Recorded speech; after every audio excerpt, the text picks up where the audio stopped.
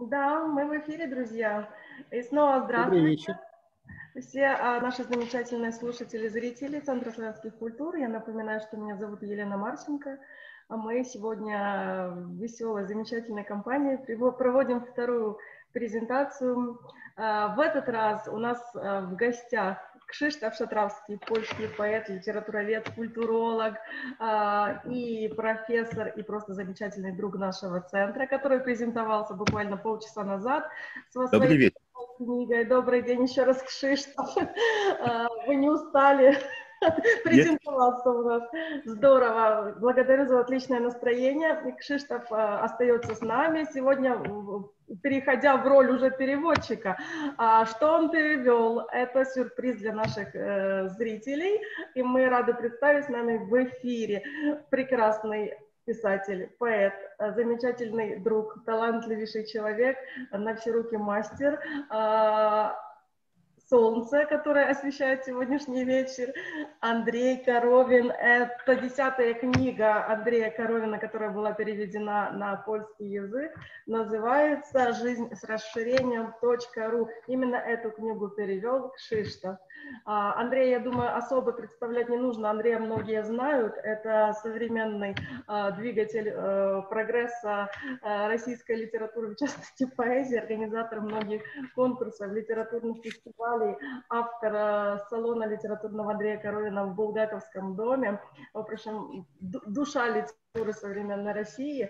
А, и я с большим удовольствием передаю Андрею, здравствуй, Андрей, видеть тебя в стенах центра, слово и к Шиштофу, и они поделятся сегодня с нами, а как это случилось, как это получилось, как пришла идея э, такого перевода интересного. А я с удовольствием послушаю, поскольку имела э, радость э, переводить Андрея на украинский язык, и мне просто интересно, проскользнет ли какое-то стихотворение, которое Кшиштоф перевел на польский. Друзья, хорошего всем вечера, я рядышком с вами в эфире. Э, Спасибо. Спасибо. Да, дорогой Кшиштов, привет, рад тебя видеть. Привет, как я рад. Да, вот Лена спрашивает, как это все началось. Мне кажется, что мы увидели друг друга, и вот с этого все и началось, да, то есть как бы произошло такое э, мгновенное, ну, проникновение э, человеческого духа, да, друг в друга, и возникло какое-то взаимопонимание, да, которое э, очень сложно передать словами. Мне кажется, с этого все и началось. У Кшиштофа иногда чуть-чуть может пропадать интернет, но он э, быстро выходит на связь, поэтому, видимо... Страшно, я тогда еще хочу сказать, что э, ты сказал, что Кшиштоф перевел эту книгу. Дело в том, что он ее не перевел, он ее создал фактически, потому что у меня такой книги стихов не было, и Кшиштов просил стихи разных лет, стихи, которые для меня важны, стихи какие-то новые, которые мне самому а, ну, дороги, стихи старые, которые я люблю. А, и, собственно, из ну, довольно большого массива, который я ему присылал, Кшиштов и составил эту книгу. То есть он не только переводчик, он составитель и создатель именно вот этой книги. Почему именно вот на польский пришла идея переводить? Это потому что э, именно Кшиштов э, как бы выразил такое желание? Или тебе мечталось про перевод на польский? Извините, я вернулся. Отлично. Да, Кшиштов, мы видим Здорово. тебя, и это очень радостно. Я тут рассказывал, э, откуда возникла идея создать эту книгу. Я сказал, что мы просто влюбились друг в друга с первого взгляда. Да. Да. Это было в Калининграде. Э, в э, театре Кукол. Да, наверное. Я не помню точно место, где это было. В театре Кукол, да? Так, опять интернет немножечко укшистый. Ну так вот, про, про польский язык там, чья идея это была? Про польский язык, э, на самом деле, польский язык я слышал с детства. Э, мой дед э, служил в войске польском советским инструктором э, с советским военным билетом, советским офицером, капитаном, но в польской военной форме. Вот. И, собственно, он освобождал и разминировал Варшаву, и до конца жизни у него в речи проскальзывали польские словечки. И когда однажды маленьким еще я спросил дедушка, какой это язык, он сказал польский. И потом уже повзрослев, вот, э, я выяснил всю эту историю, он мне рассказал, как он разминировал Варшаву, какие-то случаи даже из, э, из, из, той, из того 45 -го года, хотя он очень не любил говорить о войне, как многие боевые офицеры. Вот, но, тем не менее, вот польский язык ко мне пришел через деда. И э, любовь и интерес к Польше тоже через него. Поэтому я был очень рад увидеть поляка в Калининграде. Живого, настоящего. Да еще он оказался поэтом, еще и переводчиком. Да, тут надо сказать, что, что э, эта книга э, э, издана в, уже в серии, уже три книги в этой серии. Э, первая была, э, была книга Волошина. Это тоже э, э, очень э, э, э важно, надо сказать об этом, потому что Волошин это, это поэт, который, которого, э, у которого я, э, как бы можно сказать, Эм, открыл э, для себя э, э, очень интересную философскую поэзию, культурологическую поэзию, можно так сказать. В его цикле поэматов эм, «Путями Каина». И вот э, в, э, мне очень, очень э, близок стал э, Максимилиан Волошин, а это спасибо э, Андрею Коровину. Э, э, и э, вот э, Андрея, Андрея книга была, была следующая. Э, э, Андрей, Андрей э, еще одним поэтом э, мне Андрей э, как бы очень э, э, сильно э, э, как бы э, za, za, za, zaraził. это, это Борис Слуцкий. Да, да. Да. И вот э, я думаю, я еще буду переводить и, и Волошина, я на этой книж, книжке не, не, не, не, не окончу. Э, и э, тоже имею э, так, так, так, такой план, чтобы издать книжку Слуцкого. Э, это великий поэт, и, и э, э, надо о нем помнить, и надо его стихи переводить, не, не забывать, потому что просто Э, если, если э, кто-то хочет э, понимать современность, надо, надо понимать тоже прошлое. А прошлое в поэзии это тоже, тоже 60-е, 70-е Слуцкого. А Слуцкого 70-е, кстати, даже в России много людей не знает об, об этих стихах, потому что, что он уже их не, не показывал никому. Э, э, а даже если показывал, они не были э, широко распространены. Так, так, вот, но вернемся к Андрею. Андрей, эта книжка, как, мне интересно, как тебе нравится название «Жизнь за расширением РУ», потому что там еще один поэт приходит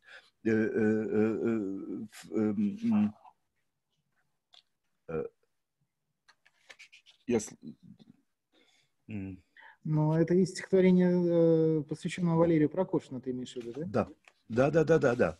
Вот э, у Андрея, Андрей, у тебя есть такая, такая, такая интересная, э, э, как бы, э, ты, можно сказать, э, являешься промотором поэтов. И вот я, я уже у, у нас есть такой, такой между, между Андреем и мной такая, такая можно сказать, долголетняя практика, что я спрашиваю о многих поэтов, чтобы, чтобы знать твое мнение. Да? Вот я думаю, с этой жизни э, э, связана э, вся дол, долгая история, потому что, что вот тут, тут это, это самый, можно сказать, лирический стих, самое лирическое стихотворение в, в, в этом сборнике. Э, тут, тут нет э, э, этого исторического критицизма или, или как бы борьбы о что-то, о, о какие-то ценности, нет сарказма. Тут вообще есть очень чистая лирика, где ты, где ты говоришь о, о том, как возможно Э, принимать этот, этот мир, э, и то, и то не мир человеческий, а мир общий, мир, мир э, э, э, как бы природы, натуры, природы природы, да. Э, и вот, э, вот мне э, поэтому это, это стихотворение очень сильно, оно просто отделяется от, от, от всех других, но еще, еще к нему вернемся. Я не, не с того начинал я э, э, начинал с, э, с этих стихотворений, с таких стихотворений, как, э, как э, «Я сотворяю мир», когда, по, когда поэты были больш, большими. Э, конечно, с... Э, э, э, Тут есть такой, такой э, ну, конечно, э, э, любовники Марины. Это был, это был, я думаю, это был вообще первый. Это наш хит вообще, да? Да, хит. Это было первое стихотворение, которое я перевел. И э, оно оказалось очень, очень успешным, этот перевод, потому что мы его читали вместе, помнишь. Э, и, э, может, с, начнем с этого? Ну, давай начнем, да. Эм, так, вначале по-русски, да, потом по Да. Правильно? Так, любовники Марина, 40.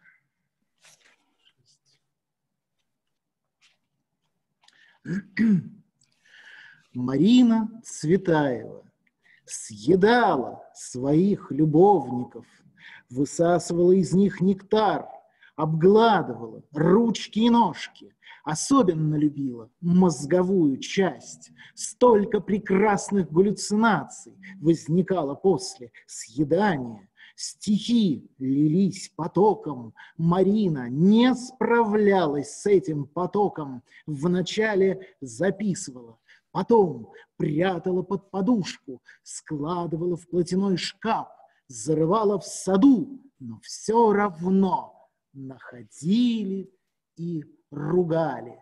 Вначале мама и папа, потом Ася, потом Ася стала тоже иногда съедать любовников. Тогда стали ругать Макс и Сережа, говорили, девочки, ну как вам не стыдно? А как же тут будет стыдно? Они жить без этого не могли сладкие любовнички, сочные и умные, на все готовые. Они были рады, что их съедают две симпатичных сестрички. Не все удалось в жизни, некоторые остались несъеденными. Бродят теперь по свету, детей пугают. Kochankowie Maliny.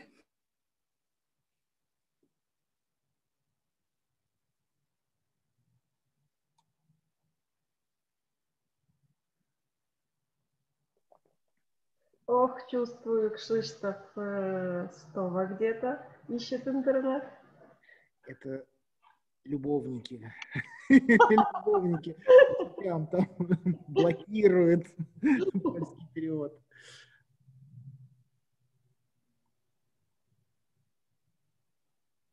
Андрюш, а может что-то пока еще прочти, пока Кшиштоф налаживает связь?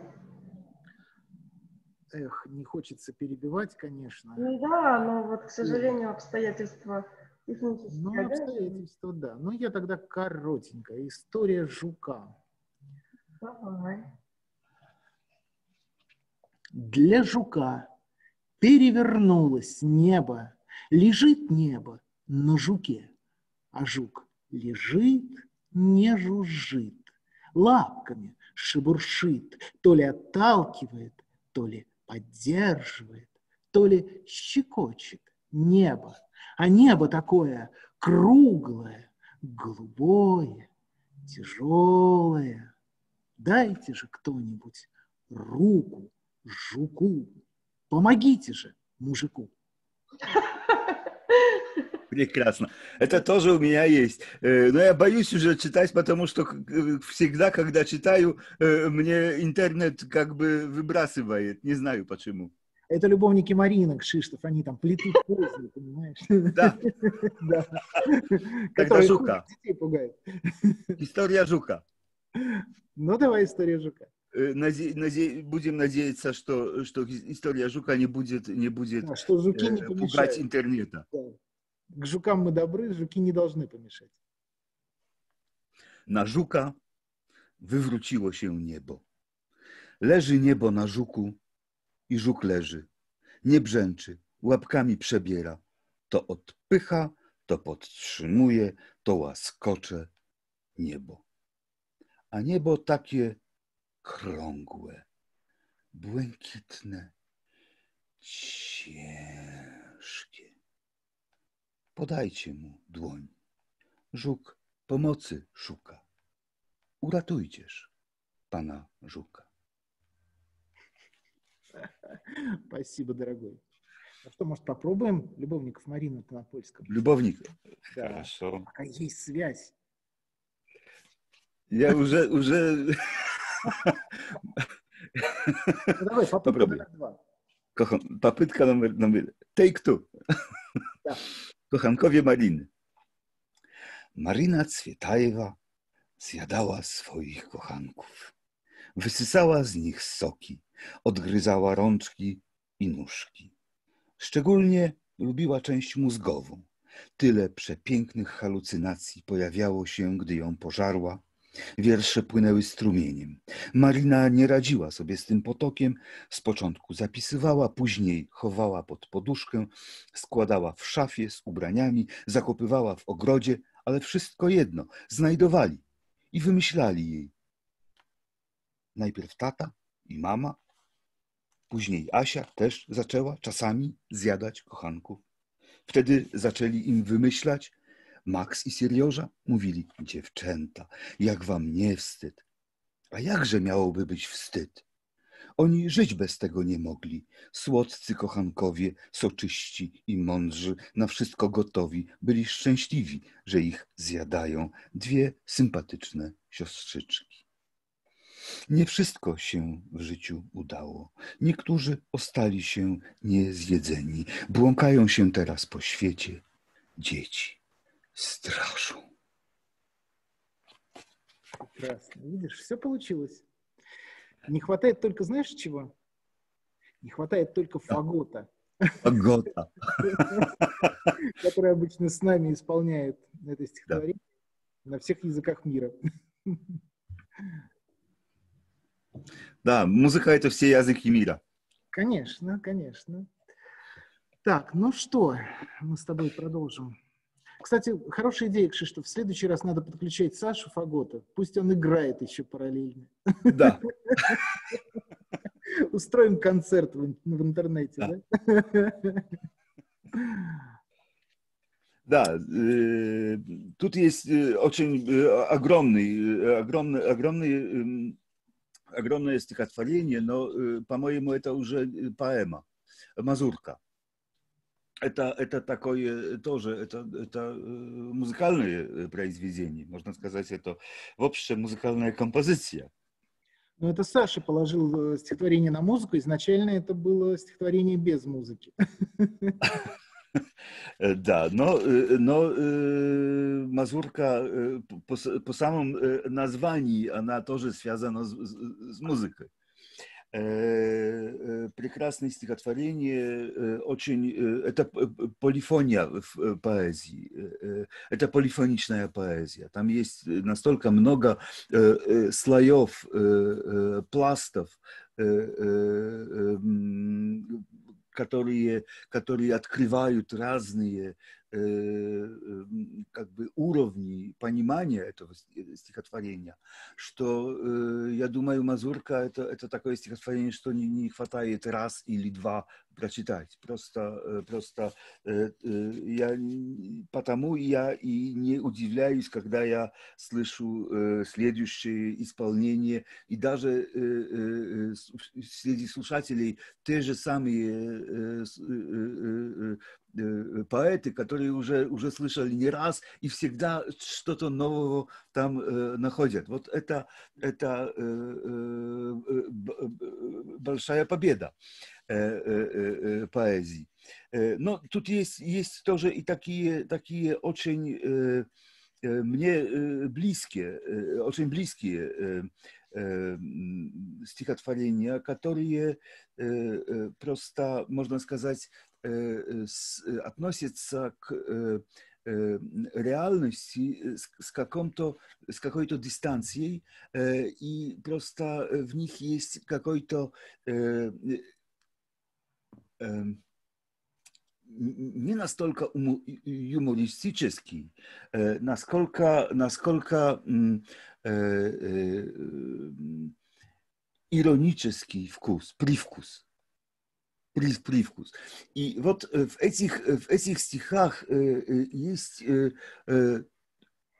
тоже, тоже очень легко можно, можно как бы не, не, не, не понять глубины, которые в этих стихах есть, потому что просто как с жуком.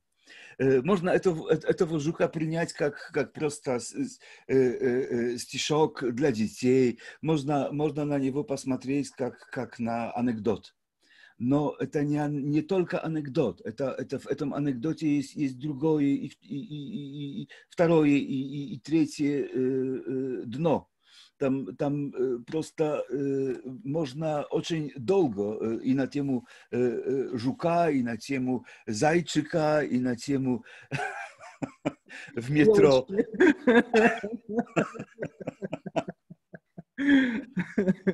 Там везде есть, есть э, э, э, смысл и на тему, и на тему этой, этой э, как это называется, э, э, конец дуры, э, э, да, кура дура. Э, но эти стихотворения, они просто сразу видно, что, что там есть как бы две возможности. Да. Дно, как в чемодане. Да, да, да, да, да. И, и вот, и вот это, это, это, это дно как бы от, открывает, я бы сказал, что, что э, эти стихотворения, которые в, в, этой книге, в этой книге э, есть, они очень пост, постмодернистические. С одной точки зрения. Меня, я довольно сложно отношусь к постмодернизму, хотя я понимаю, Хорошо. какие-то черты все-таки есть, да. Да. Э, э, что тут, тут есть постмодернизма? Э, есть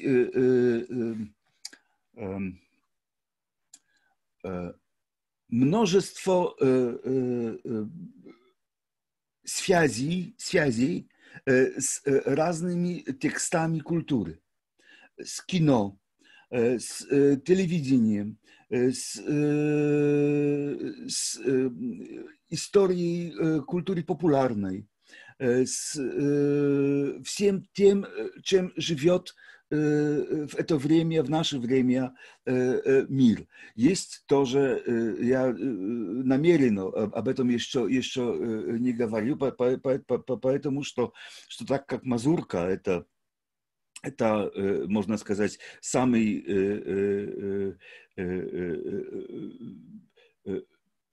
скомплицированный, можно так сказать, можно или нет? Непонятно.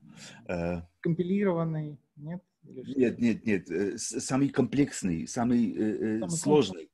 да. комплекс, самый сложный многослойный. пример, многослойный, да, пример такой поэтической, так, такого творчества. Есть еще другой, другой, другая вишенка на, на, на, на этом пироге или как торте. Ну, можно и так, и так. На тортике, Главная да? вишенка, да. Да, вишенка есть, есть. И э, э, э, я сразу скажу, что, что вот э, э, все будет хорошо. Э, что э, это, эта поэма, э, я, я даже э, думал, ш- э, что может назвать эту книгу э, от этой по- поэмы. Э, это самый э, дол- долгий э, э, текст в э, этой книге. Это, это. Э, Но э, она не только... э, В ней нет сарказма, в ней нет иронии. Там есть немножко, но, но, но она не, не, не- играет никакой э, роли. Эта, э, эта поэма просто ужасает э, э, э, э, э, с одной стороны ужасает э, э, э, как бы много как бы разноличностью событий и, и тем, что все как бы сходится в один, в один пункт. Один пункт, которому, которому э, это, эти слова с э, э, э, песенки «Все будет хорошо» противоречат. Э, Ничто не будет хорошо, потому что, что э, для этих людей уже ничего не будет на самом деле. Э, Так, э, это трагичес- трагичес- траг- трагическая поэма, можно сказать, это поэма э, э, в память те- тех, которые не пришли э, уже в наше время. И с такой точки зрения эта поэма, эта поэма имеет универсальный смысл. Это, если кто-то хочет найти в этой поэме критику э, э, 90-х, найдет. Но это, это э, уменьшение того, э, чем эта поэма есть. Потому что это, можно сказать, что это реквием для 90-х. Можно так сказать. Но прежде всего, эта поэма – это вообще реквием для всего, что прошло э, э, в э, бывшее, что э, э, уже не живет, и для всех, кто уже не живет, и для всего, что с нас осталось там где-то. Мы это помним, но в нас уже этого э, мира нету. И то, что это тоже постмодернистический, это глубоко постмо- постмо- постмодернистический, но не в таком смысле, как теперь в энциклопедиях постмодернизма. Я думаю, что этого, это, этой дефиниции ты не принимаешь. Э, э, Но э, это постмодернизм такой, как, как был в литературе 60-х годов у Сузан Зонтак, у Джона Барта. Этот, этот глубокий постмодернизм. Постмодернизм, который, который говорит, мы можем, мы могли бы сравниваться с этими всеми великими писателями, кот- которые были до нас, до, до- перед, раньше. Э, Но э, какой смысл, смысл в этом? Это, это, э, эти, эти соревнования к ничему не ведут. И вот это, можно сказать, это очень близко так, такого трагического взгляда, который есть, есть в этой поэме. Потому мне она очень близка. Я ее напечатал в альманахе, э, не помню года, но э, альманах у меня тут есть. Есть, есть, есть.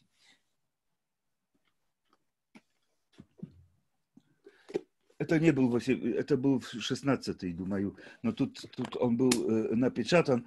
Э, э, и, э, э, конечно, конечно, в этой книге он, он тоже есть. Это, не будем его читать, потому что он слишком... э, Он э, большой, э, да. Ну, да, это надо было бы уже э, только читать его. Но э, э, я скажу так, что, что э, мне очень часто возвращаются э, картины с, этого, с, этой, с этой поэмы.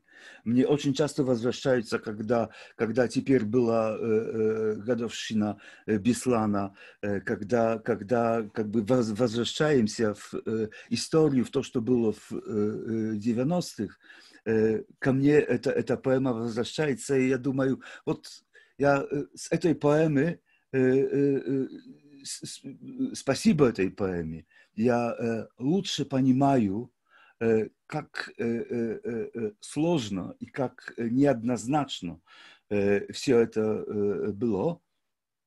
И что просто можно, можно, можно сказать, что, что это был, был, было как бы эм,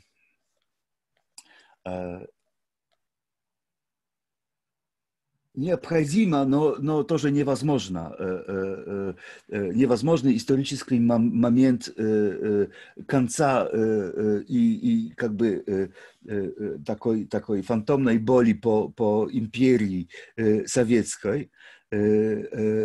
А потом, потом что? Потом надо было уже нормально жить. И вот для меня эта поэма очень, очень, очень э, э, значительная. Я ее очень люблю. Э, и ты об этом знаешь. Да, спасибо, дорогой. Так, ну что, э, поэму читать что будем, читать? оставим слушателям возможность прочитать ее самим, правда? Да. Вот. А, ну, тем более ее можно найти в журнальном зале. В каком-то из журналов она публиковалась, по-моему, э, даже не помню, в Зинзивере, мне кажется, она публиковалась. Вот. Но в любом случае в журнальном зале можно ее найти. А, ну, как и в этой книге, соответственно. А, Кшиштоф, что почитаем? Давай немножечко а, порадуем наших зрителей. Андрюш, можно я вклинюсь к вам в разговор? Конечно, прошу прощения. Как раз наши зрители вам большие приветы на Фейсбуке передают. Пишут «Браво, Кшиштоф», «Браво, Андрей». А, один из э, наших любимейших э, зрителей, Владимир Пименов, хотел передать вам привет. Пишет, что Андрей классный. А он едет сейчас в электричке и просит э, Андрея прочитать стихотворение на дорожную тему, а поскольку Андрей вроде как тоже часто мотается в электричках. И вот еще такой вопрос у него к Андрею. Как ритм влияет на этику что для Андрея первично образ, мысль или ритм. Вот. Это к тому, что пока Кшиштов подбирает, что прочесть дальше, возможно, Андрей как-то сможет, э, как, как говорится, э, дать обратную связь для зрителей. То есть еще раз, что лично образ, мысль или ритм. И просьба почитать э, стихотворение на дорожную тему.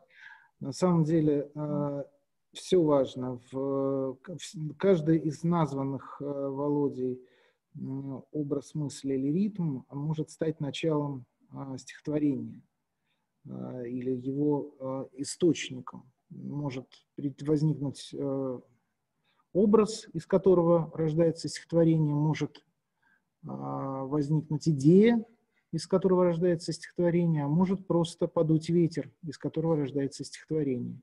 Поэтому э, на самом деле поводом, причиной для стиха может быть все что угодно. И поэтому все важно. Нет чего-то главенствующего, как мне кажется. А на дорожную тему, мне кажется, вот в этой книге ничего у нас такого железнодорожного нет, Кшиштов, да? Как ты не помнишь? Э, поймали зайчика. Ничего такого, а? Поймали зайчика? Поймали зайчика. А, ну, я бы не стал его сейчас читать. Это не железнодорожный. А, это не железнодорожный, это все-таки метро, да, у нас? Это метро. Так, а что у нас? Вот целующийся в метро есть. Про электричку здесь, по-моему, ничего нет. Я могу из другой книжки что-нибудь электричечное прочитать? Но это все равно как бы дорога, метро, вагоны. Это та же электричка, только под землей. Ну, Вот такое Кшиштов предлагает. Целующийся в метро. Хорошо. Я люблю целующихся в метро влюбленных.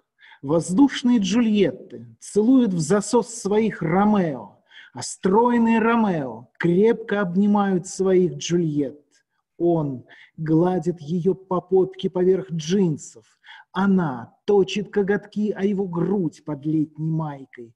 Они не обращают внимания на окружающих, на милицию, на ворчащих про конец света старушек, пока им не нужно знать, что происходит в мире, пока не нужно ждать повестки на фронт, революцию, иммиграцию, пока ничто в мире их не волнует так, как поцелуй здесь и сейчас, который длится целую вечность, будто эскалатор все время отматывают назад, как кинопленку, так, что он не кончается. Они все едут и едут куда-то, слившись с судьбами в этот миг в одном нескончаемом поцелуе. И пока я смотрю на них, я верю, что все с этим миром в порядке. Całujący się, całujący się w metrze. Lubię zakochanych całujących się w metrze. Eteryczne Julie całują swoich Romeo, a przystojni Romeo mocno obejmują swoje Julie. On przez dżinsy głaszcze ją po pupie, ona ostrzy pazurki o jego pierś pod letnią podkoszulką. Oni nie zwracają uwagi na otoczenie, na milicję, na warczące o końcu świata staruszki. Dopóki nie muszą wiedzieć, co się dzieje na świecie, dopóki nie muszą czekać na wezwanie, na front, rewolucję, emigrację, dopóki nic w świecie nie budzi takich emocji, jak pocałunek tu i teraz, który się ciągnie całą wieczność, jakby ruchome schody cofały nas przez cały czas, niczym taśmę filmu, który się nie kończy, a oni wciąż dokądś jadą i jadą, zlewając swe losy w tym mgnieniu, w jednym niedokończonym pocałunku pocałunku i jak długo ich widzę, wierzę, że wszystko z tym światem jest w porządku. Спасибо, здорово. Это не только мое мнение, это тоже а, мнение зрителей. Я сейчас зачитываю. Это вас благодарят за это прочтение, за этот перевод. А, пишут, что метро тоже это дорога. То есть э, Владимир э, также продолжает тему зайчика и просит э, давай зайчика, Андрей. Очевидно, это тебе адресовано. Давай зайчика. Можете ли про зайчика прочитать, пожалуйста? Спасибо. Заинтриговали зайчиком. А, сейчас.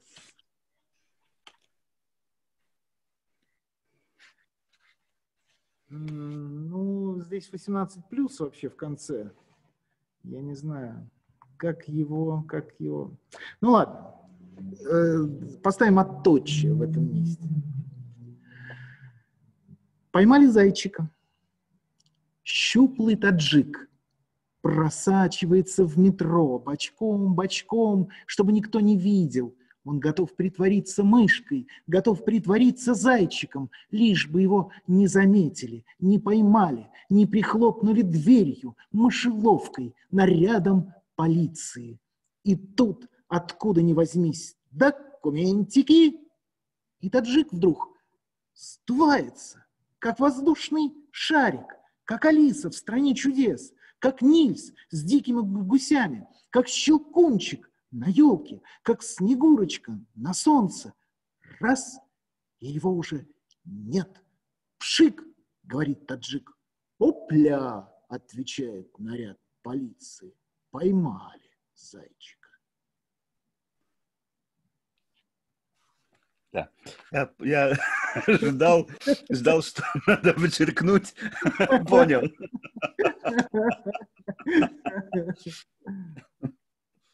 Złapali zajączka. Herlawy Tadżyk zakrada się do metra chyłkiem, chyłkiem, aby nikt nie zauważył, gotowy udawać myszkę, gotowy udawać zajączka, aby go tylko nie zauważył, nie złapał, nie przytrzasnął drzwiami, jak w myszołapce patrol policji.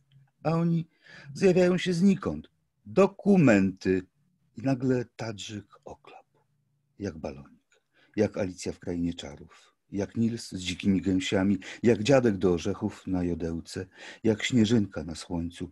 Ciach, i już go nie ma. Ups, mówi Tatrzyk. Hopsa, odpowiada oddział policji. Złapaliśmy zajączka. Прекрасно. Особенно концовка на польском Кшиштов звучит просто волшебно. Вот и зайчик, собственно. Да, благодарят вас очень за зайчика, с большим вниманием слушали. Спасибо. Спасибо, ребят. Есть еще запросы, Я пожелания? свежего, как что-то появится, сразу сообщу. Хорошо, все. Кшиштов, переходим к вольным процедурам. Да. Кшиштов, какие у тебя пожелания, скажи? Эм, Лирику или что-нибудь, э, что-нибудь э, постмодернистское? Да. Э, Вот еще, еще тут э, я сказал, что, что од- од- один такой, такой серьезный стих, это, это, это поэма «Все будет хорошо». Но это, это не только так, потому что тут есть еще, еще и другие. Серьезный «Жизнь за расширением РУ», Э, серьезный, хотя, хотя там тоже есть э, как бы, э, но это более э, автоироническое, э, э, автоироническое стихотворение. Эм, Оно называется эм, «История с одноклассницей». Вот это так, такая, такая, это тоже, тоже серьезный, серьезная тема. Э, вообще, тут можно сказать, э, э, э, у меня есть, есть, есть, есть к тебе такой вопрос. Э, э, э, В твоих стихотворениях очень э, сильно э, э, звучит все общественное. Можно сказать, что э, э, как бы граница между э, личностью, между человеком и обществом, э, даже если, если это, это э, касается, э, я думаю о, о стихотворении ВВП, э, когда это, это касается личной истории кого-то, там есть, э, э, как бы можно э, почувствовать э, дыхающее общество вокруг. Оно, оно, оно везде есть. Э, Может, в э, истории Жука нет, но, но тоже есть, потому что, что потом э, помогите Жуку. А- а-. Э, э, э, э, я так думаю, может, э, э, э, это, этот сарказм или автоирония, может, может это момент, в котором, в котором, э, э, в котором э, я был, э, мне было слышно, Да, сейчас слышно, Кшиштов. всё не было хорошо. перерыва, Да-да-да, мы тебя слышим. Э, что замерз э, э, на, на, на момент экран. Да. Я так думаю, может, что, что, что ты скажешь, мне интересно, на эту тему, как этот сарказм или автоирония работает с этим, с этой общественной точкой зре- зрения, что всегда ты берешь, э, как бы э, э, имеешь э, э, в виду тоже то, что есть вокруг э, люди. Ну, э, я бы не назвал это сарказмом. Я вообще сар- к сарказму прибегаю крайне редко. В основном это самоирония или ирония, действительно. А, И что касается вот такого общественного резонанса в каждом стихотворении, о котором ты говоришь, ну, собственно говоря, любое событие, любой человек, о котором я пишу, это часть общества, да, и любое явление, а, которое я наблюдаю, даже проезжая мимо в электричке, это все равно явление из эпохи, а, в, котором, в которой мы живем. И я сознательно или бессознательно а, внутри себя расширяю увиденное, услышанное, прочитанное до какого-то такого, до попытки осознания а, своего времени. Вот, собственно говоря, в этом, наверное, и заключается то, о чем ты говоришь, да, что через любое событие, через любого человека я пытаюсь э, понять время, в котором мы живем.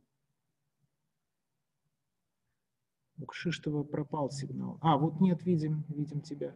Ты слышишь наш, нас, Кшиштов? У тебя выключен микрофон. Кшиштов, дорогой, пожалуйста, включите микрофончик внизу в левом Вот все, да.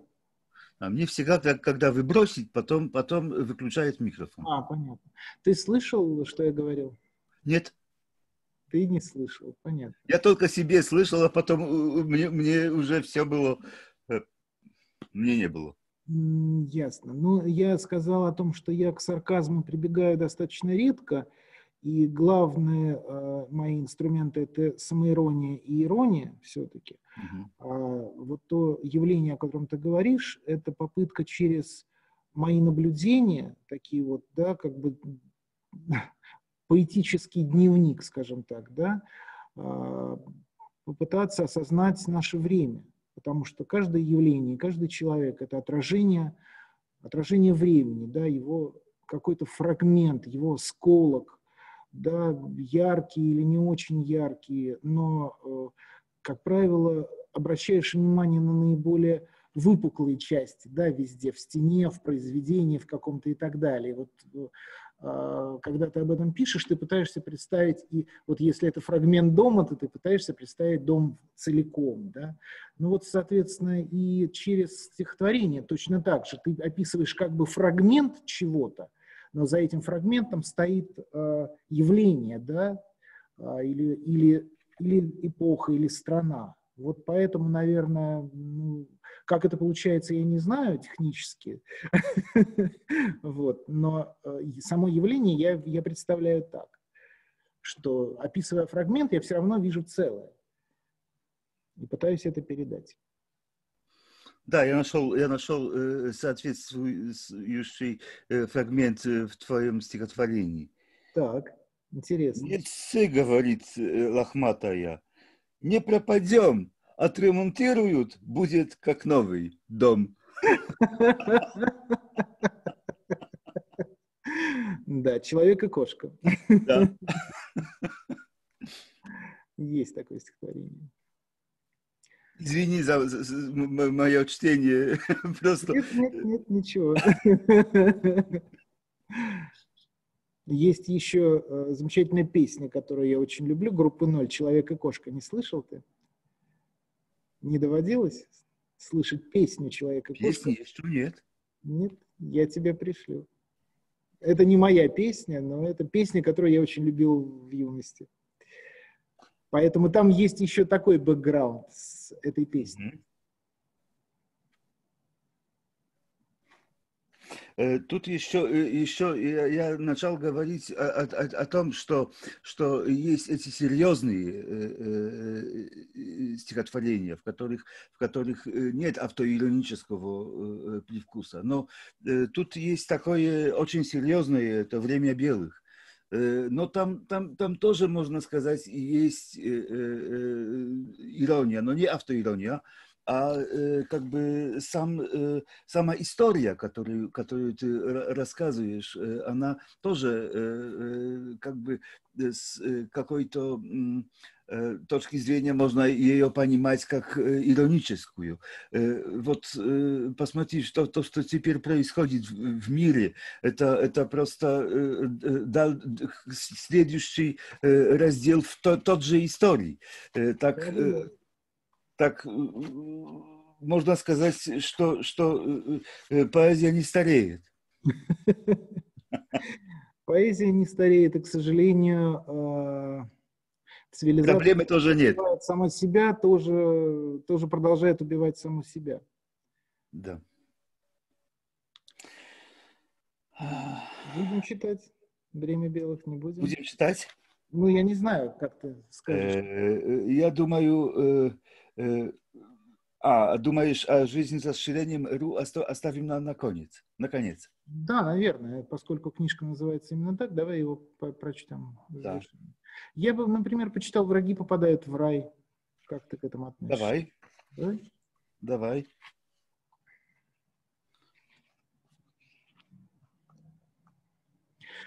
Когда проходит земная блажь, проходит земная блажь, ты жизнь за хлеб и любовь отдашь, за хлеб и любовь отдашь.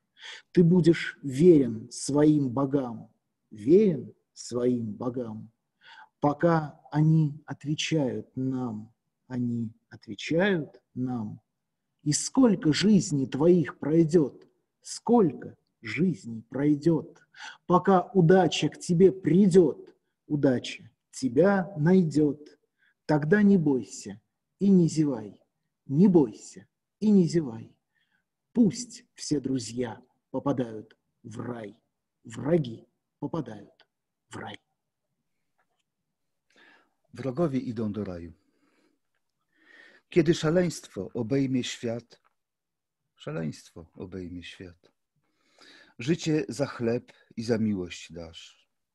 Za chleb i za miłość dasz. I będziesz wierny swoim Bogom. Wierny swoim Bogom, póki ci odpowiadać mogą. Odpowiadać mogą. I ile życia Twego minie, ile życia Twego minie, nim szczęście znów na Ciebie spłynie. Szczęście znów na Ciebie spłynie. Więc nie martw się i nie ziewaj. Nie martw się i nie ziewaj. Niech przyjaciele idą do raju. Wrogowie idą do raju. Спасибо, дорогой. А может быть, вот еще небесных персиков немножечко покушаем, понадкусываем? Покушаем. Вспоминая Волошинский фестиваль и крымские персики, да, почему бы нам не откушать да. небесных персиков? Любимая, если когда-нибудь у нас появятся деньги, мы пойдем с тобой на рынок и купим небесных персиков. С них будет течь сок, нектар, амброзия. Они будут мурлыкать в наших руках, ластиться к нашим пальцам, щекотать нас шершавой шкуркой, подаваться на легкие нажимы пальцев, как женщина подается навстречу любимому, всем телом обволакивая его собой, впуская в свою жизнь целиком, без обмана, растворяя его в себе и растворяясь в нем, становясь одним телом и духом, сгустком нежности. Души входят друг в друга, как будто у них есть такие же инструменты, как и у тел. Персики – это и есть вечные неразделимые любовники. Все Ромео Джульетты, все Петрарки Лауры и прочие кавалеры де Грие после смерти стали персиками. Это такой вот посмертный рай. Стоит надкусить персик, и ты увидишь какого-нибудь Ромео в запрещенной форме, застывшего над Джульеттой, «Эй, какого тебе здесь надо, дядя?» Скорее всего, скажет он, отрываясь от вечных дел. И ты ответишь, «Я просто люблю персики, милый Ромео. Продолжайте, прошу вас. Не обращайте внимания. Сегодня прекрасный день. Видишь, любимая, жизнь побеждает смерть. Niebiańskie brzoskwinie. Ukochana, jeśli będziemy kiedyś przy forsie, pójdziemy na rynek i kupimy niebiańskie brzoskwinie. Będzie z nich spływał sok, nektar, ambrozja, będziemy mruczeć w naszych rękach, łasić się do naszych palców, łaskotać nas szorstką skórką, ustępować pod lekkim naciskiem palców, jak kobieta wychodzi naprzeciw ukochanemu, obejmując go całym swym ciałem, wpuszczając w swe życie w całości i bez udawania, rozpuszczając go w sobie i rozpływając się w nim, stając się jednym ciałem i duchem, koncentracją czułości. Dusze wchodzą jedna w drugą, jakby były wyposażone w takie instrumenty jak ciała. Brzoskwinie to także wieczni nierozdzielni kochankowie. Każdy Romeo i każda Julia, każdy Petrarka, każda Laura i wszyscy kawalerowie de Grie po śmierci stali się brzoskwiniami. To coś w rodzaju pośmiertnego raju. Wystarczy, że nadgryziesz brzoskwinię, a zobaczysz jakiegoś Romeo w zakazanej postawie zastygłego nad Julią. Hej, a czego ty tutaj szukasz, chłopie? Najpewniej powie, odrywając się od wiecznych zajęć, a ty odpowiesz. Po prostu lubię brzoskwinie, mój miły Romeo. Proszę kontynuować i nie zwracać na mnie uwagi. Dziś taki piękny dzień. Widzisz, kochana, życie zwycięża śmierć. Так, я вот смотрю еще, Кшиштов, варианты какие? ВВП или конец дура, может быть, что? Как ты думаешь, что имеет смысл почитать? Думаешь, ВВП? Ну, или конец дура, например. Или... Что я люблю и, и Тульскую провинцию, и, и, и, и, и человек, и кошка. Э, и... А, это кошка. Сейчас. Предлагай, предлагай, предлагай. И конец дур, и ВВП тоже очень хороший стих. Посвящается всем. Ярославские были. За три, три стихотворения. Тоже, тоже хорошие. Тут еще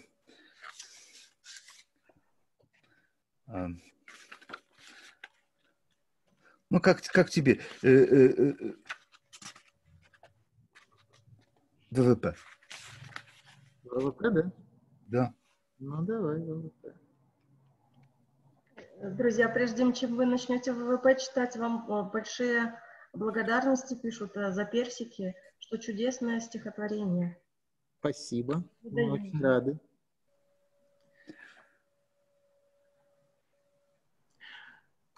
А актеру Яншину изменяла жена – ходила по дому чужому, обнажена, воздымала руки, говорила, ах, а ведь муж мой почти монах.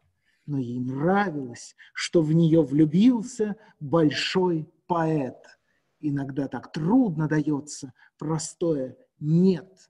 «Нет» она говорила два раза – а потом засыпала в его руках, закрыв оба глаза, делала от него аборт, уходила в афорт, и Яншин перекрестился, когда он застрелился, а потом развелся и новой женой обзавелся, а старая молодая жена так и ходила по миру обнажена, засыпала в руках поэта.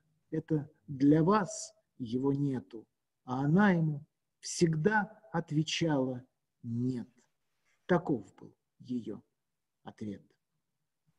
Надо, наверное, расшифровать аббревиатуру. ВВП – это Вероника Витольдовна Полонская. Стихотворение посвящается ей, последней э, любимой женщине Маяковского. ВВП. A aktora Janszyna zdradzała żona. Chodziła po obcym mieszkaniu obnażona, wznosiła wciąż ręce głośno mówiąc ach, wszak mąż mój to bardziej mnich niż gach, bowiem w miłości poety znalazła upodobanie, czasem tak trudno powiedzieć zwyczajne ani. A mówiła nie po dwakroć i w sposób uroczy, aby później zasnąć w jego ramionach, zakrywając oczy – była w nim w ciąży i przerwała. Z akwaforty spoglądała, aż się Jaszyn przeżegnać ośmielił, kiedy poeta się zastrzelił.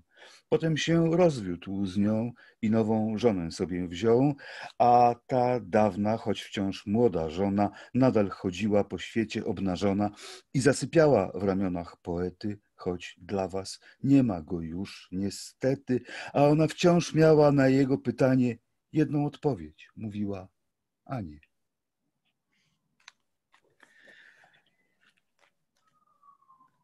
Так, ну что еще? А, со мной разговаривает холодильник или история с одноклассницей Кшиштов. Что ты думаешь? Или Одиссея Калипса, или памяти Парщикова «Дерево дождя».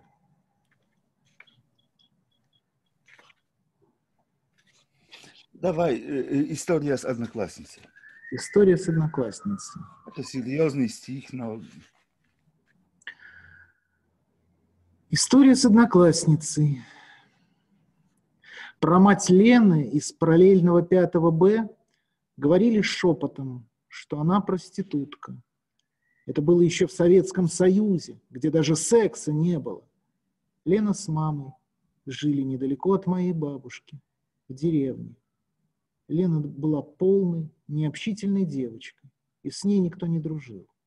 А ее мама была высокой, широкобедрой, полногрудой брюнеткой. Она мне нравилась.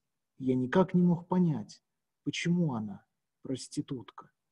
Однажды я помог Лене донести портфель из школы, и она посмотрела на меня с благодарностью.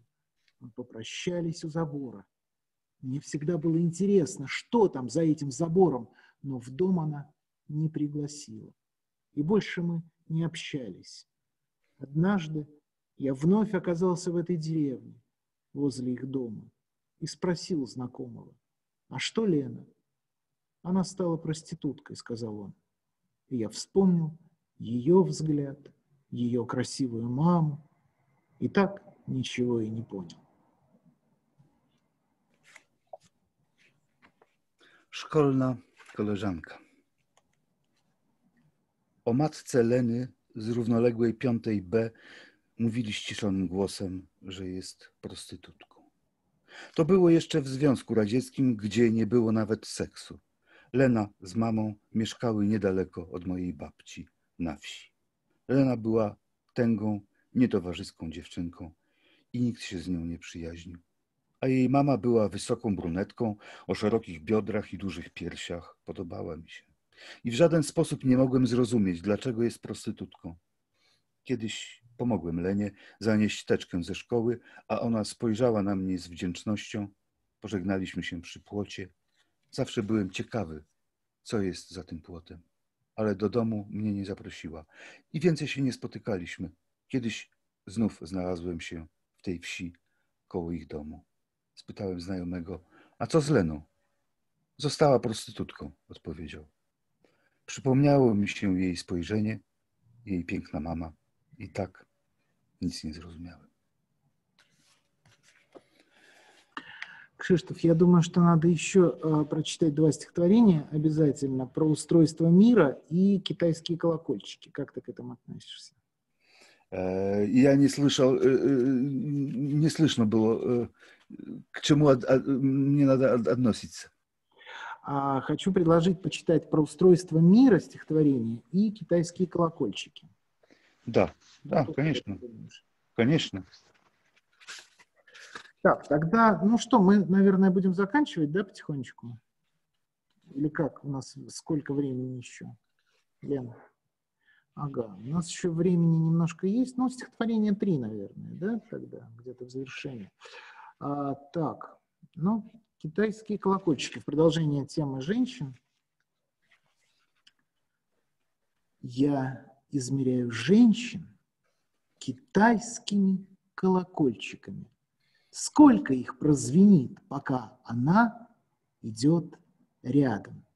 Китайские колокольчики – самая точная штука. Они звенят не от скуки, а только когда есть о чем рассказать.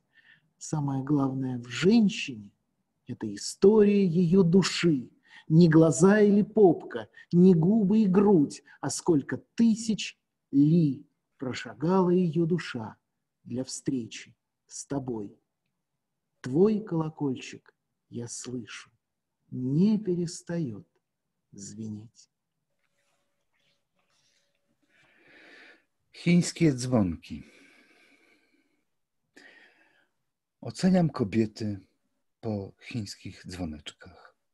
Jak wiele ich dzwoni, kiedy idziemy razem. Chińskie dzwoneczki to najlepszy sposób. Dzwonią nie z nudów, ale tylko wówczas, gdy jest o czym opowiadać. Najważniejsza u kobiety jest historia jej duszy. Nie oczy i nie pupa, nie usta i nie piersi, a ile tysięcy li przeszła jej dusza, aby cię spotkać. Słyszę twój dzwonek. Nie przestaje dzwonić. Так, ну что, про устройство мира, да? Да? Книга начинается такими теогоническими стихами, то есть где там рассказано, кто этот мир создал, зачем и так далее. Вот несколько таких текстов здесь есть. А, и вот это один из них. Вот в коробочке зеленой кофе ходит молодой. Вот в коробке деревянной чай в обнимку с бергамотом. Вот в коробочке стеклянной жизнерадостный мате. Вот в коробочке старинной проживает человек. Он не то чтобы отшельник или попросту забыт, он старается как может не сойти совсем с ума. Он мешает день и вечер, ночь и утро, круглый год, чайной ложкой в стакане, где заварен этот мир. А в коробочке с секретом проживает умный Бог. Он тут, кстати, самый главный, если кто не разгадал. O porządku świata.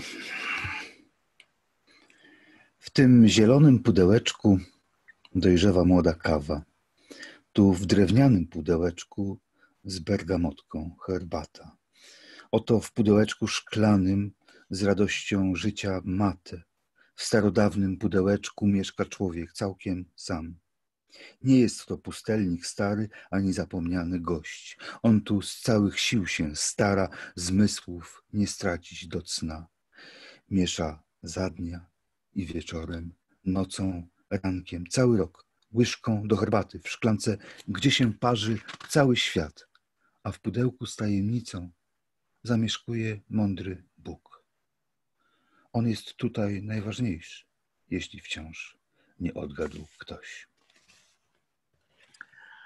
Ну что, и как мы договорились, Кшиштов, да, заканчиваем стихотворением «Жизнь с расширением РУ» памяти Валерия Прокошина.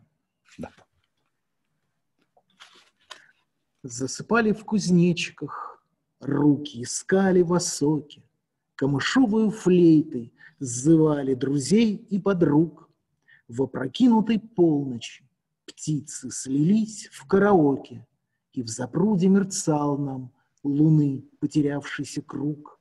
Не о лете письмо, у реки постороннее имя, не о городе, павшем четыре столетия назад. Мы очнулись в случайное время, мы стали родными и увидели свет, словно небо очистило взгляд.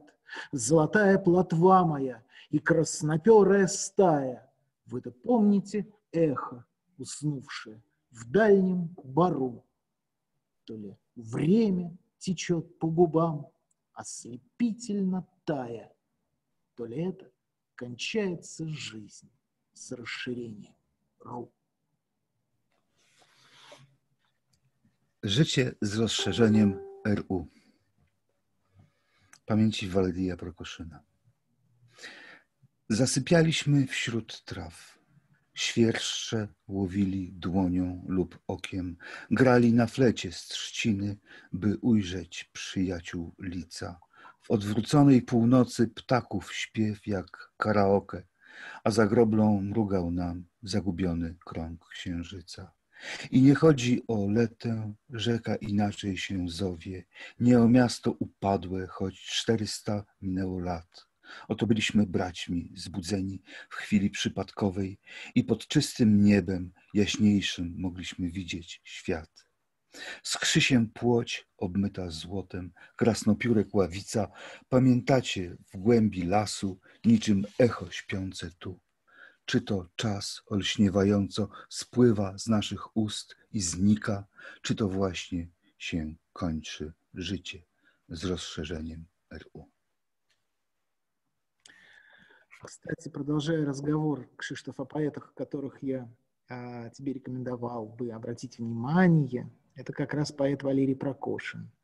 А, ты, может быть, и читал какие-то отдельные его стихи, но я тебе очень рекомендую в него вчитаться. Это тоже поэт, который очень точно сказал о своем времени. Буду вот. читать. Да, ну что, я очень рад, на самом деле, что мы с тобой встретились в таком необычном для нас формате.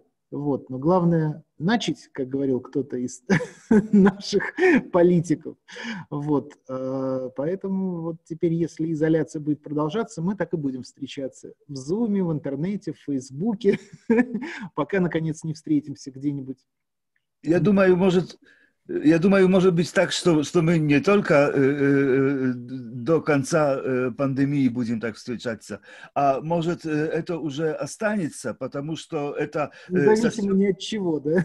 Да, это, это можно просто пообщаться без... Без свидетелей. Тоже. Хорошо, договорились, Кшиштоф.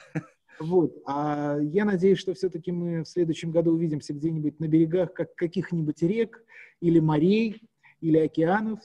Вот. А, и уже э, с тобой почитаем не только стихи и, э, так сказать, выпьем не только чаю, вот, и поговорим о современной э, поэзии Польши, России и любимых поэтах.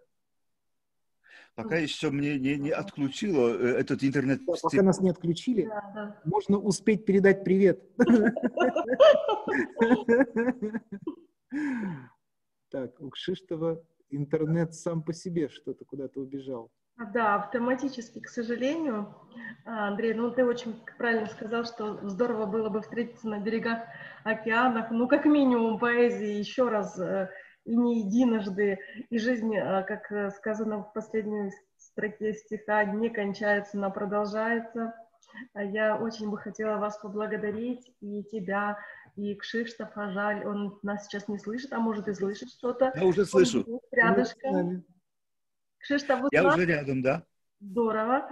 Я говорю, я хочу вас, вас очень поблагодарить за чудесный вечер. Я, э, если успела все комментарии следить, следила, один из них так звучал, что поэзия Андрея, она очень здорово звучит на польском языке, прям как магия. И я сама сижу, прочувствовала эту магию, особенная аура у нас в центре создалась. Я надеюсь, эта творческая атмосфера, она с вами пришла, а она с нами останется до следующей встречи с вами уже вживую, а может и онлайн. А, как будет здорово собраться в любом э, творческом составе. И я хочу желать э, всем славянам мирного неба, э, творческой энергии, авторам и переводчикам новых текстов, новых книг, новых переводов. А, ведь славянство – это уникальная духовная субстанция, которая нас объединяет и онлайн, и офлайн, и духовно, и на расстоянии. Мы всегда рядом, и всегда рады видеть вас у нас в гостях с новыми проектами, вдохновленных, воодушевленных. И спасибо вам за вдохновение, за подаренный прекрасный вечер. Спасибо, Лена. Спасибо большое, Елена. Спасибо, Андрей. Мы еще пообщаемся, когда уже не будет трансляции. Да, договорились. Благодарим наших зрителей и до новых встреч. До новых Спасибо. встреч.